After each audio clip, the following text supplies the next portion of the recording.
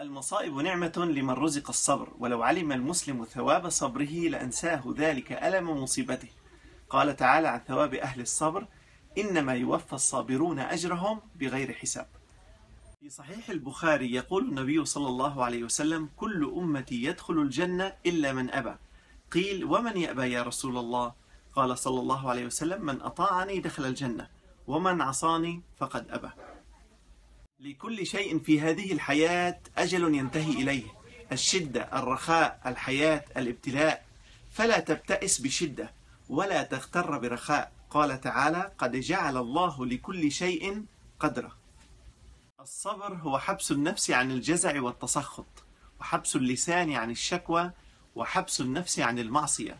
قال تعالى فاصبر إن وعد الله حق. جعلني الله وإياكم من الصابرين. إذا هممت في معصية تذكر ثلاث آيات. ومن يتق الله يجعل له مخرجا. ألم يعلم بأن الله يرى؟ ولمن خاف مقام ربه جنتان. اللهم ارزقنا الخوف والخشية منك.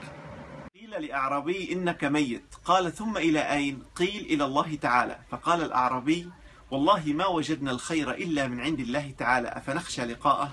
لذلك إذا كنت ترجو وتحب لقاء الله فلا تخشى الموت بل استعد له. إذا هبط عندك الإيمان وتكاسلت عن العبادة تذكر هذا الدعاء وقل اللهم لا تجعلني شقيا ولا محروما كرره كثيرا وثق بكرم الله. أنت لا تدري بأي شيء سوف تدخل الجنة ربما بدمعة باستغفار بصلاة بكلمة طيبة بابتسامة وأهل الهمم العالية يجمعونها كلها. فاحرص على كل ما يقربك إلى الجنة.